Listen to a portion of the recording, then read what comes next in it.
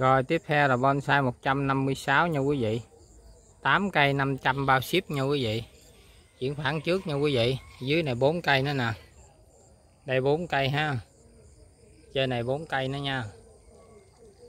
Rồi, Giờ tôi cho quý vị coi từ cây nha. Đây, cây số 1 nè.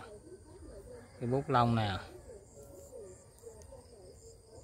Số 1 nha. Số 2 nha. Số 3 nha số 4 nha. Quái không nha.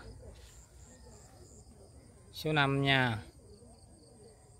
Số 6 nha quý vị. Số 7 nha. Quái mà già nữa nha quý vị. Số 8 nha quý vị. Rồi tổng cộng 8 cây 500 bao ship ha. Rồi anh nào quen lại thì cũng chuyển khoản trước hết nha quý vị.